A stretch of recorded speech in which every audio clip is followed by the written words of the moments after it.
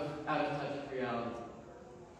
So Timothy, the pastor of a church at the moment, gets this letter from Paul letting him know he's going to be persecuted, he's going to be betrayed, he's going to be hurt, but keep on preaching. So I can't imagine Timothy said he's like, thanks Paul, thank you for this letter.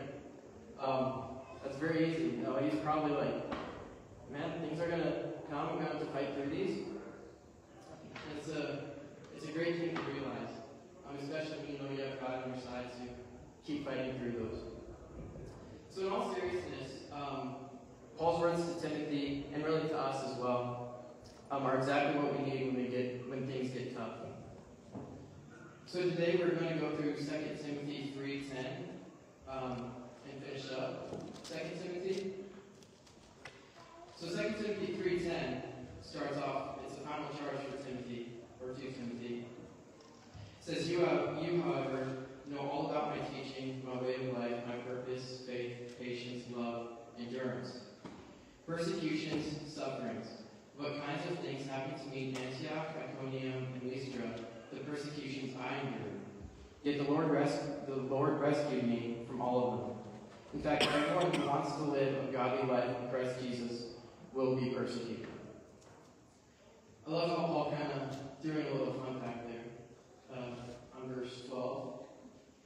He says, In fact, everyone who wants to live a godly life in Christ Jesus will be persecuted. And I loved how kind of Paul phrased his whole message. He talks in absolutes everywhere. You know, I was, wondering, I was looking for like an if or but in that sentence. But it says, in fact, everyone will be persecuted if you want to live a godly life. And so that's me, that's you, that's your friends. It's, it's bound to happen, it's inevitable. And so he's teaching us to be prepared for that and to know God is on our side through that. In this, Paul writes in a very straightforward tone. He reminds Timothy of his example of saying to know all about his teaching, to his way of life, his purpose, his faith, his patience, love, and endurance. Because Paul would set himself as an example, he lived in Christ so that he could set example to Timothy, who he knew from a little boy that Timothy might look through Paul and see Christ. And so Paul's letting Timothy know, live the way I lived. Everything you, I taught you, uh, apply it today because it's very important. And then we go on to uh, next couple verses. Verse 13. It says, While the evildoers and impostors will go from bad to worse, deceiving and being deceived. But as for you, continue in what you have learned and have become convinced of, because you know those from whom you learned it, and how from infancy you have known the Holy Scriptures, which are able to make you wise for salvation through faith in Christ Jesus. So Paul really urges Timothy to remain steadfast. He reminds Timothy to hold on to what he has learned from childhood, from what he his core beliefs came from. And his message is very clear in this. Paul's very clear in this whole passage. I love it. Persecution is inevitable, but the truth of God's word will sustain us and lead us to salvation. And that's just a huge thing, you know. All these verses, you know, you can these are like the type of verses people have as their favorite verse throughout the rest of Timothy. Uh, persecution is inevitable, but the truth of God's word will sustain us and lead us to salvation. And then you go on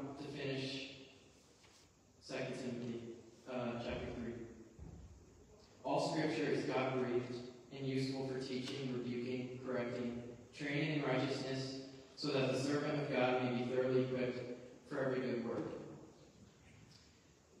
He's saying all scripture is God breathed. Um, I always fall in the trap thinking it's Paul breathed or it's Timothy breathed. Um, but it's really God talking to us right now through Paul. Um, really, the whole book of Bible should be in red writing, in my opinion. Um, based off that, really God talking the whole time. Um, so you, you make sure to let everyone know what he's saying right now is God talking to us and not him.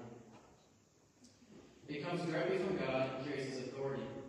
Scripture is profitable for four things. And I love this. It, it kind of reminded me of those shampoo bottles you'll sometimes see on the shelves. The foreign ones. You know, it'll clean your hair, it'll clean your body, it'll clean your feet, and it'll clean your face. Does everything. It's, it's a four-in-one shampoo. And he kind of refers to the Bible as like one of those, like a four-in-one shampoo. It has four things. It does everything for you. It teaches us God's truth. It corrects us when we go astray, guides us to make things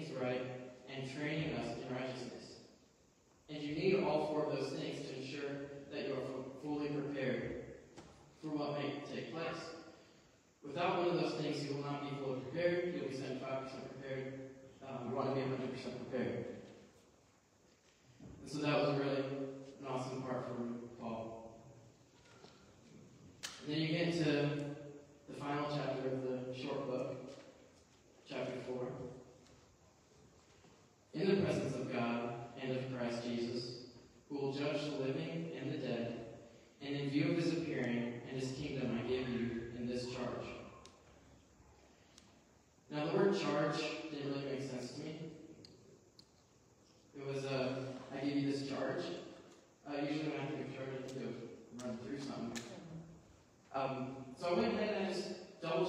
Meant. It's uh, the Greek definition. It's to strongly urge under oath.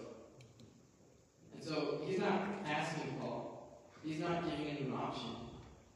It's a legal command under oath, or in other words, um, he's demanding Timothy right here. And so he gives this, he gives Timothy this demand. Preach the word, be prepared in season and out of season. Correct, rebuke, encourage with great patience and careful instruction. And this verse is very important. The word preach. I love I love searching this up, the word preach. Because this is my first time preaching. You know, it's good to know the definitions. Um, and it kind of, you know, it, it's a it's a big definition. The Greek definition is to proclaim as a herald carrying the idea of declaring a royal message. So I'm not just, know, just having kind of normal banter talking. It's as if I'm a herald carrying the king's message.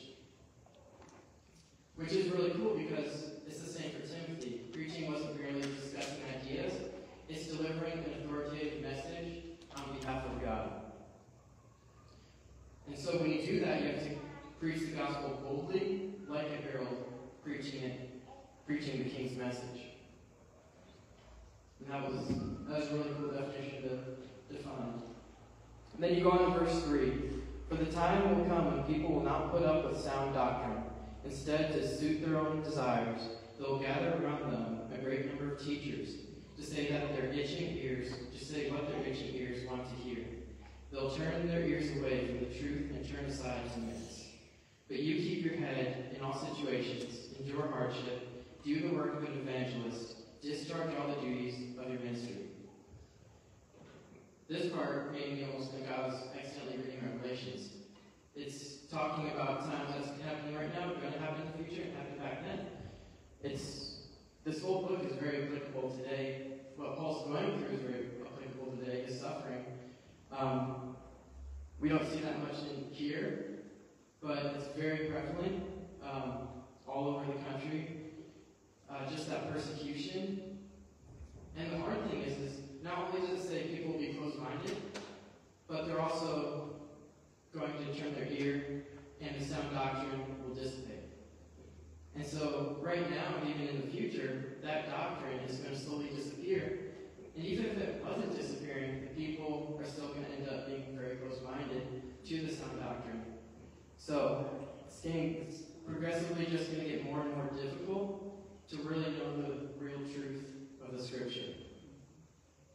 And Paul, Paul mentions that here. And then you go on in verse 6. For I'm already being poured out like a drink offering, and the time of my departure is near. I fought the good fight, I have finished the race, I have kept the faith. Now there is in store for me a crown of righteousness, which the Lord, the righteous judge, will award to me on that day. And not only to me, but also to all who have for appearing. And here, Paul says he fought the good fight. He ran the race. And to me, as a as an athlete, you know, every time I hear, I automatically think he's on like this track race, and the track is the race of life. He's right, you know, right almost to that finish line. Timothy's a little more behind him, you know, but he's catching up. And there's suffering. Paul, throughout that race, he's letting Timothy know they were suffering. He was persecuted. He had people betray him. But there's no better feeling than passing that finish line. And he really needs to let Timothy know because, especially as Christians, that message Paul said earlier, all of us are going to be persecuted. All of us are going to face hard times. All of us will have to be able to get through those. But we have to know God is with us. And He's the creator of the universe. He's the one watching over you through those hard times. And that there will be no better feeling at the end of that, when you're almost at that finish line, knowing you fought a good fight, that you ran the race, you got through it all, and you did it well, and that you're set to earn that crown of righteousness from God at that finish line. And Paul went through a lot. Um, I had to look these up. He, he said he was suffering uh, and he was persecuted in three areas. And that was Antioch, um, Iconium, and Lystra. And I, I was like, you know, reading through this, I didn't know Paul was as persecuted as he was. In Antioch, which is the capital of Syria, he, which means driven against, strange enough, Paul's driven out, but uh, driven against. It's also the first place where followers of Christ were called Christians. Antioch. And they just, they, they kicked Paul out.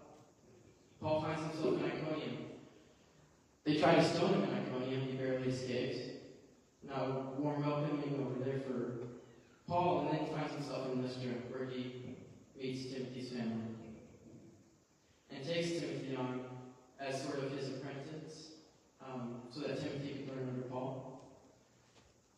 But Paul, unfortunately, was stoned and left for dead in Lystra.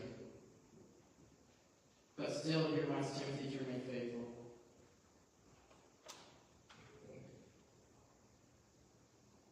Then, as we finish this uh, little section from verse verse 9 of personal remarks, it says, Do your best to come to me quickly. For Demas, because he loved this world, has deserted me and has gone to Thessalonica. Crescens has gone to Galatia, and Titus to Dalmatia. Only Luke is with me. Get Mark and bring him with you, because he is helpful to me in my ministry. I sent Tychus to Ephesus when you come. Bring the cloak that I left with Carpus at Troas in my scrolls, especially the parchments. Alexander the metalworker did me a great deal for him. The Lord will pay him for what he has done. You too shall be on your guard against him, because he strongly opposed our message. At my first offense, no one can come to my support, but everyone deserted me.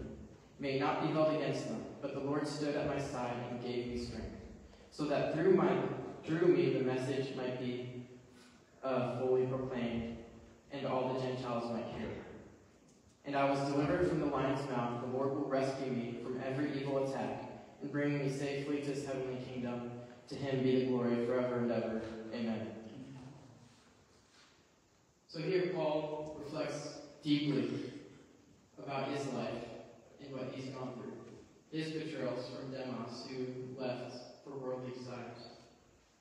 But his friends who stayed, like Luke. And it's just so, it's so interesting how someone like Paul still needed those companions, that fellowship from Luke and from Timothy, you know, in that prison. Um, because those are basic human needs, just that fellowship. Sometimes you just need that. Where all you just get together and that feeling just arises where you know you're not, you're not alone. People are going through the same things you are. And Paul just, he needs that, you know. He needs Luke and Timothy in that, in that last area. Paul's final words are a reminder of the power of fellowship and the reality that even great leaders like him. But more importantly, he also shows his unshakable faith in God's plan throughout this whole process, his whole life. He made, steadfast and unshakable. And reading all of this, it, it brought me to uh, to think about, you know, he says all Christians will be persecuted. I was like, man, I, I maybe my time's coming. I haven't really been persecuted. So I was thinking, what, what are hard times that I may have gone through that maybe, you know, seem too hard? And the first thing came to my mind was closing down my dad's store, uh, Beds to Go, is a mattress store here in Helena. I was just a sales representative trying to sell mattresses, and one day he comes to me and he's like, Hey, Andrew, I need all of this upstairs area brought downstairs, and the downstairs is already jam packed with mattresses. And so I was like, This is impossible. We can't fit it all down there. He's like, I rented storage units. You're not gonna, you're gonna take some of it downstairs and the rest in storage units. I'm like, I guess we could try that. I'm like, who's helping me? He's like, you and Brett. And Jonathan and William, maybe, if they're free. I was like, how much time? He's like, you gotta get done today. The people are coming in tomorrow. And so I was like, man, you can't just really toss these things on, you know, just this huge project. And so I had no other option but to get it done that day. And so we were there until about one in the morning, just emptying all the upstairs, taking it downstairs, taking it to units. Then about a week later, he comes to me. He's like, Andrew, I need you to empty all of downstairs and put it in storage units. I'm like, how long do we have? He's like, you have before they open tomorrow. and so I was like, again, this is this is a lot of work. And I'm like, who's helping? He's like, Brett, maybe William Jonathan too, if you want. and so I was like, all right. And this was on Halloween. I didn't get much candy that day. Um, and so we went down there. We just got to work because we had no other option. We had to get it all done.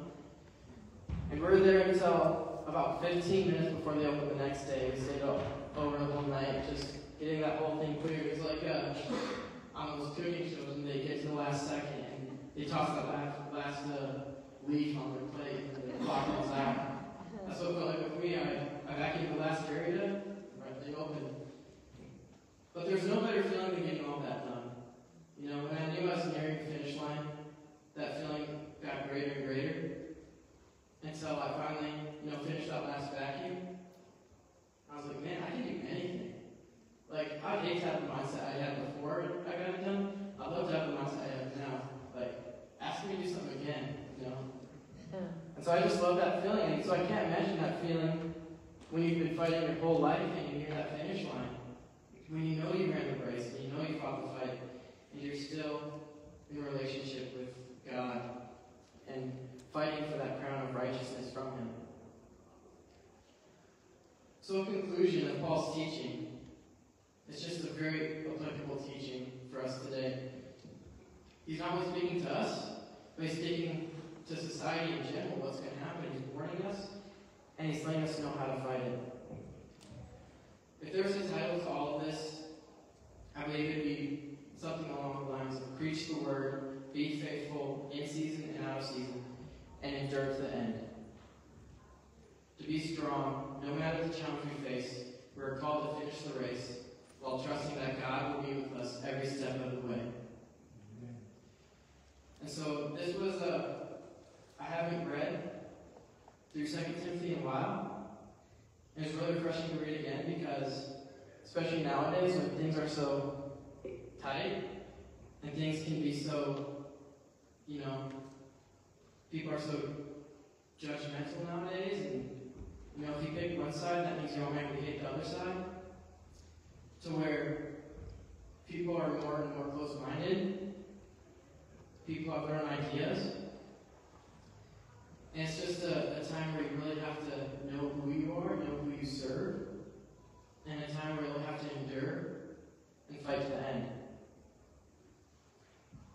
And so that really impressed me, really impresses me how Paul lived his life. How he remained steadfast and happy. Because he knew he fought the good race. He knew he's going to get that crown here shortly. He knew that Timothy was going to do well. And he knew that his message would be heard for generations and generations to come. Which was very amazing. So, this is just awesome. So, let's pray. And thank Paul for this message from God. Lord, we come before you, grateful for the example of faithfulness and perseverance we see in Paul's life. We thank you for your word, which equips us for every good work, and for the reminder that we are always in your presence. Lord, help us take Paul's passage to heart, to preach your word boldly, and to remain steadfast in our faith, and to endure whatever challenges come our way. Father, when we face difficulties, give us the strength to fight the good fight and to finish the race. Always keeping our eyes on Jesus, just as Paul trusted in your faithfulness until the end. May we too live in a way that honors you confidently and to look forward to the crown of righteousness.